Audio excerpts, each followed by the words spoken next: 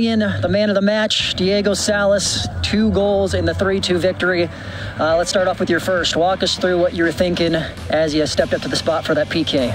Um, I I saw the PK coming because I saw that player coming in hard on my teammate, and right away I knew how to get the ball because I wanted that goal.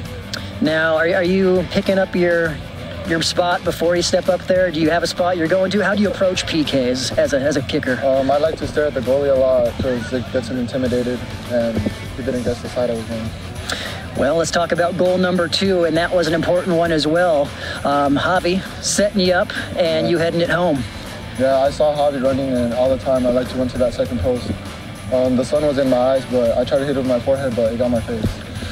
Now, uh, we got to talk about what happened in the second half. How are you feeling after Columbus put in that second goal with five minutes to play? Um, I felt like we were getting frustrated, but we didn't give up the ball.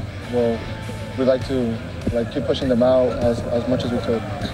Well, lastly, what does it mean for you as a senior? You're taking the Islanders back to state for the first time in three years with a chance to do something special. What does that mean?